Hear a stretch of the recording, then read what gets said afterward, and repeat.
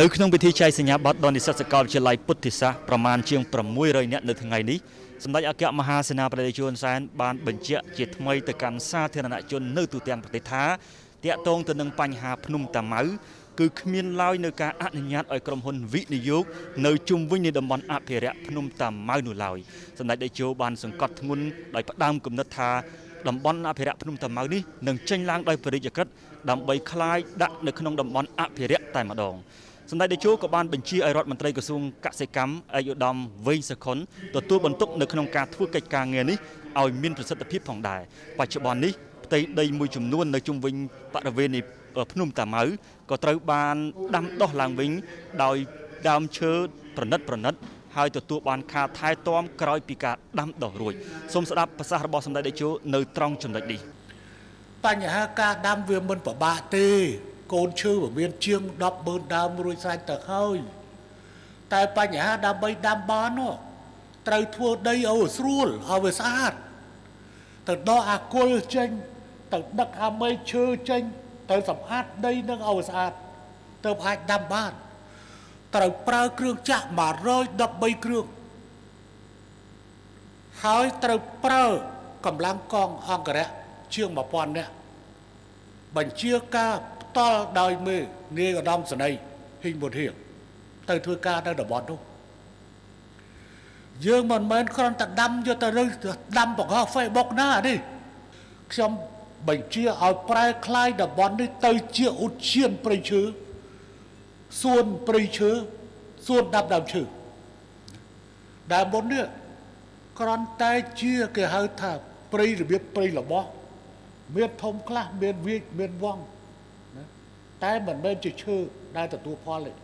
ប៉ុន្តែនៅពេលកមុកកន្លែងនេះคล้ายទៅជាឈើដែលមានតម្លៃដែលមានតម្លៃហើយយើងដាំនៅតំបន់នោះហើយដើម្បីធានាច្បាស់នៅភ្នំតាម៉ៅ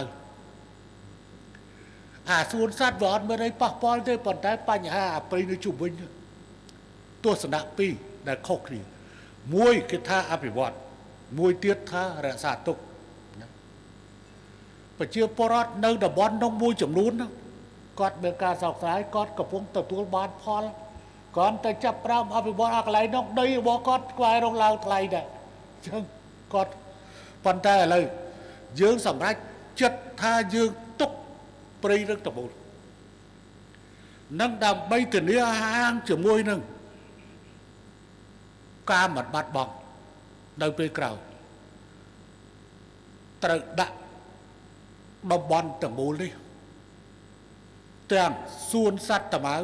ទាំងព្រៃពាត់ជុំវិញនេះដែលដកហូតពីឯកជននេះ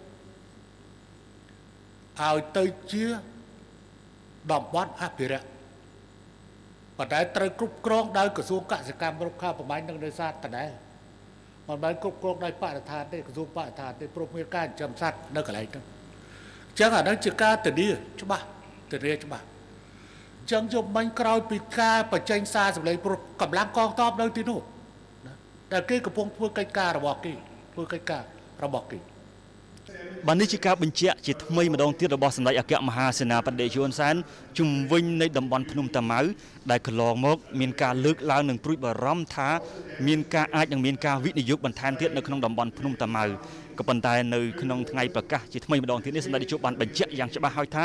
គ្មានឡើយការវិនិយោគណាមួយឬក៏ការអនុញ្ញាតឲ្យក្រុមហ៊ុនវិនិយោគណាមួយធ្វើការវិនិយោគនៅជុំវិញតំបន់ភ្នំតាម៉ៅទៀតនោះទេសម្ដេចនាយកក៏បានបន្ថែមថារដ្ឋាភិបាលក៏កំពុងយកចិត្តទុកដាក់ហើយនាពេលបច្ចុប្បន្ននេះការដាំដុះព្រៃឈើឡើងវិញនៅក្នុងតំបន់ជុំវិញភ្នំតាម៉ៅក៏កំពុងប្រព្រឹត្តទៅដោយប្រើនៅកងទ័ពប្រមាណជាង1000នាក់ដើម្បីសម្រុកឲ្យដាំតន់នៅក្នុងរដូវភ្លៀងហើយក្រោយពីការដាំដុះរួចគឺនឹងទទួលបានការថែទាំនៅឈើប្រណិតដែលបានដាំនេះដោយក្រុមហ៊ុនផងដែរខ្ញុំបាទជាធិរិទ្ធធ្វើសេចក្តីរាយការណ៍អំពីមជ្ឈមណ្ឌលពាណិជ្ជកម្មនិងពិព័រណ៍ជ្រោយចង្វាស្ថិតនៅក្នុងទីក្រុងរណបនៃជ្រោយចង្វាថ្មី